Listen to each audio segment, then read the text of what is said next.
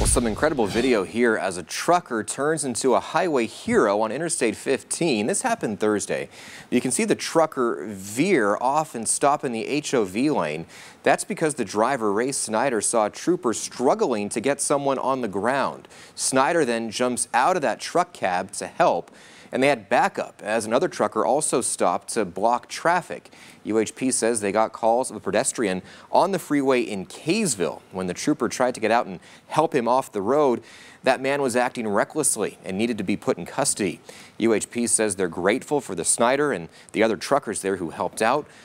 UHP says they don't know what would have happened had the truckers not jumped in to help.